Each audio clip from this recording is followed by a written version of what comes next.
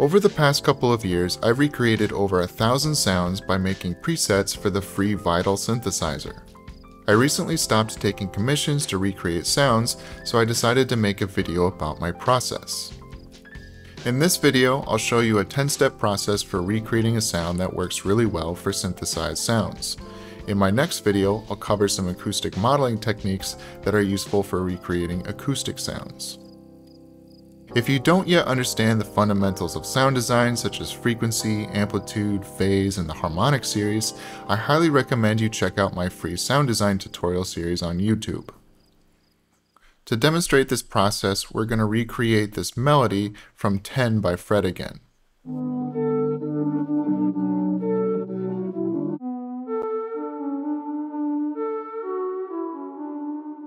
You can download this preset along with over 100 others on my Patreon page for just $5, and you can also download preset packs, some of them free, from my Gumroad page. Links to those are in the video description. Step number 1. Isolate the sound you want to recreate. By that, I mean finding a part of a recording where no other sounds are playing. If that doesn't exist, you can try removing the other sounds with AI. At the time of making this video, I think the best AI model for separating stems of music uh, is Gaudio. It's a free online application, but the downside is that sometimes you have to wait a while to get your stems. Another great alternative is Deezer's Spleeter.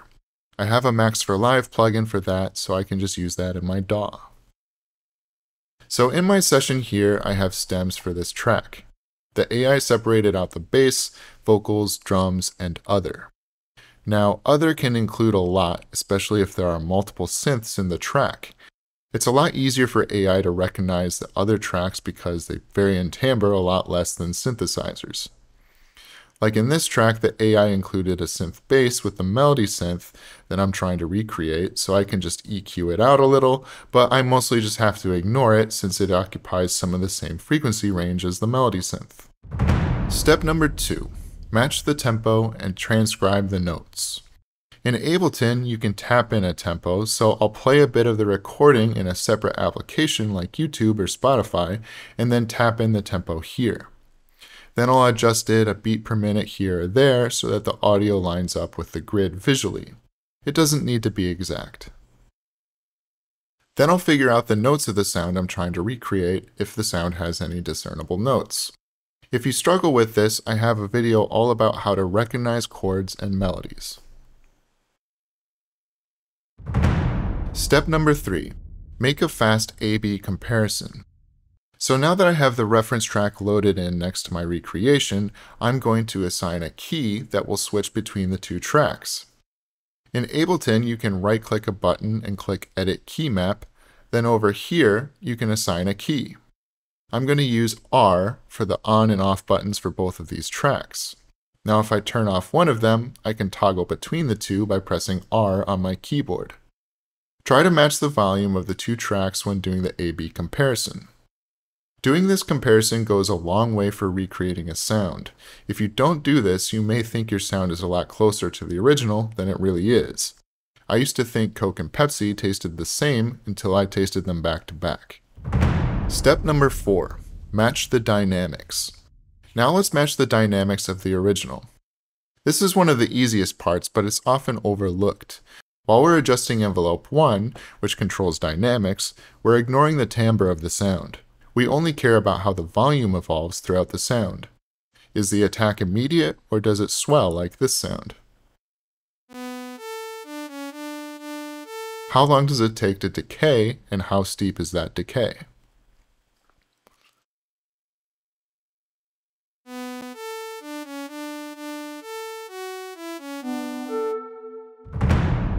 Step number 5. Now let's finally analyze the timbre of the sound. Of course, I do this by ear, but sometimes I use a spectrum analyzer. I'm using the free one provided by Voxengo called SPAN. I turn on high res mode, and now I get a clear picture of how the amplitude of specific frequencies evolve throughout the sound.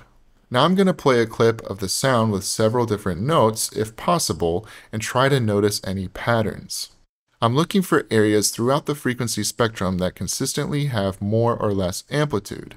This is important because if we only look at one note, we won't know whether we're seeing a frequency pattern or a harmonic pattern. I'll show you what I mean by that later.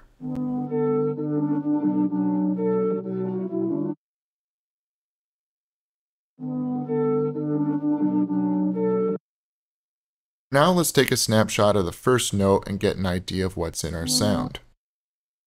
This sound is a little complicated since we're also seeing the bass synth. This is where knowing the harmonic series comes in handy, but don't worry if you don't know the harmonic series of every note. I'll show you a workaround. The note playing at the beginning is a B3, so I'm looking for harmonics of B3. If we don't know the harmonic series of B3, I can just create a new track add vital,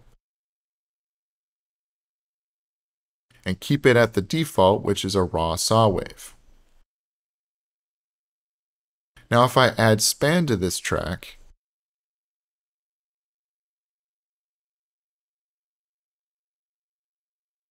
then play a B3, I can press hold and span, and now I have an image with the harmonic series for B3 that I can reference.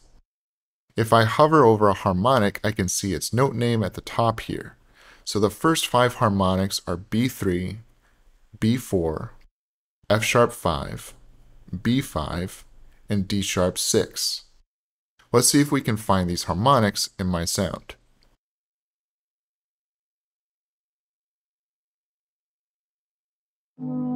If I freeze the spectrum analyzer on the reference track, I can see B3, B4, F sharp 5, B5, and D sharp 6. I'm noticing that the first harmonic B3 and the third harmonic F sharp 5 are a bit louder relative to the other harmonics. Other than that, I'm noticing that the harmonics get quieter as you go up in frequency until it cuts off completely somewhere above the fifth harmonic, which is D sharp 5. Now that's all valuable information, but I can't start creating the tone of my synth just yet. I need more information. Is that pattern I found for B3 the same for other notes as well? I notice that the third harmonic is loud, but is the third harmonic always loud? Or is that frequency always loud and that harmonic just happened to line up with that frequency? Let's take a look at the second note, which happens to be the furthest note away in the phrase. It helps to look at notes that are in the extremes to notice whether they share the same patterns.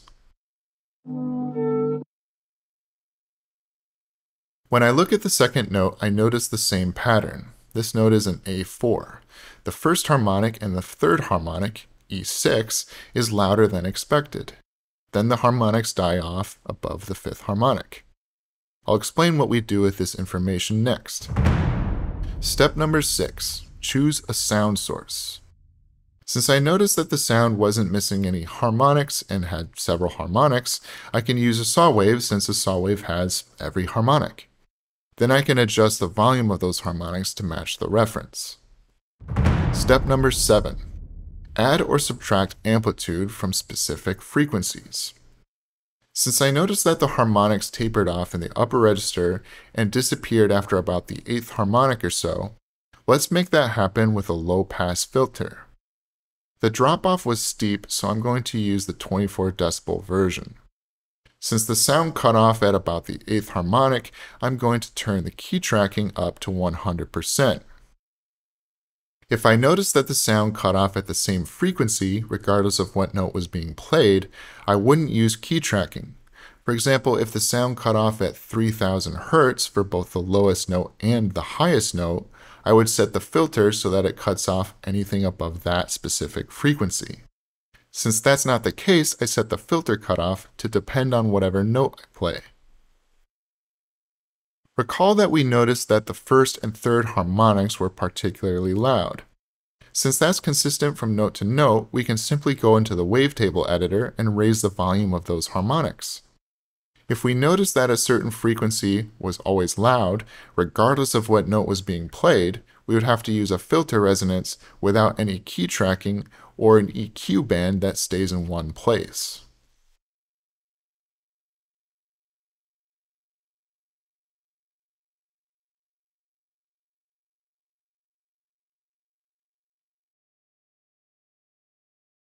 Remember to match the volume of both for easier comparison.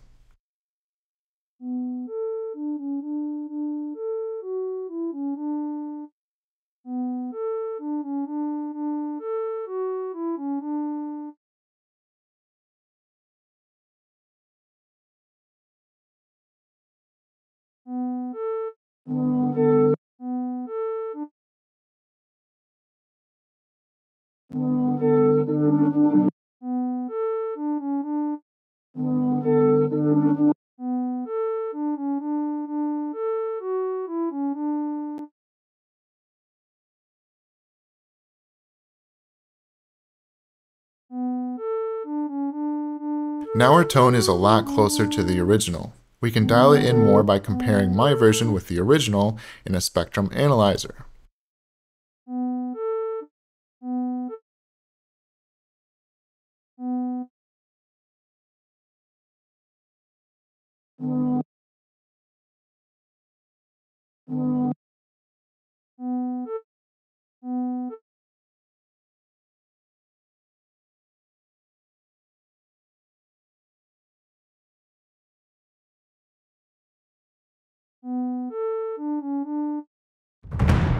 Step number 8. Add any frequency modulations. I'm noticing a slow vibrato for each note. It's subtle, but on every note you can hear it move up and down in pitch. Let's do that with an LFO set to a sine wave shape. Let's set this to modulate fine pitch of our oscillator, then dial in the amount and then the rate.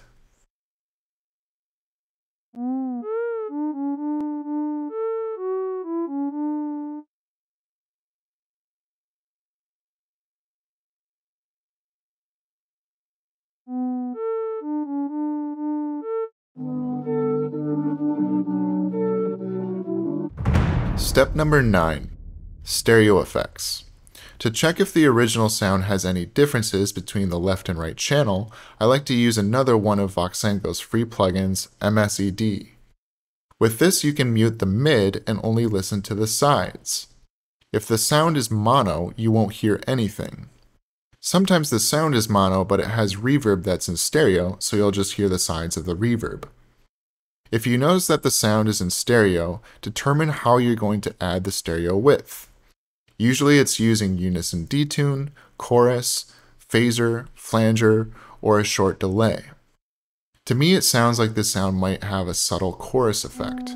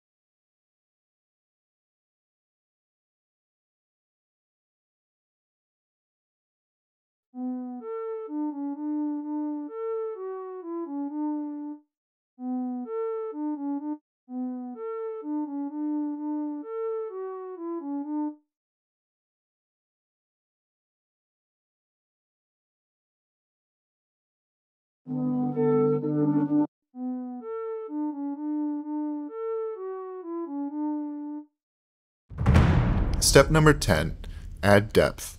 This is where I'd add a delay or reverb. This can be hard to dial in if you're not able to hear the release of a note. I think I'm hearing a delay, but I'm not 100% sure.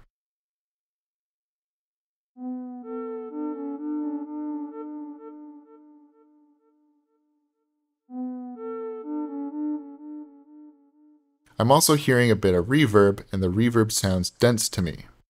To get a dense reverb, I can turn down the size. It also sounds a bit longer than one second.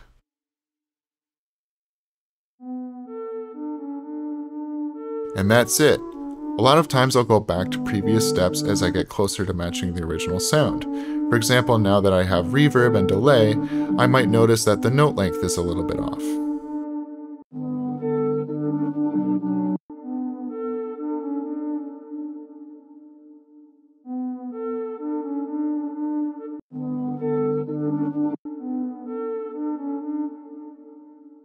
So this is one approach to recreating a sound.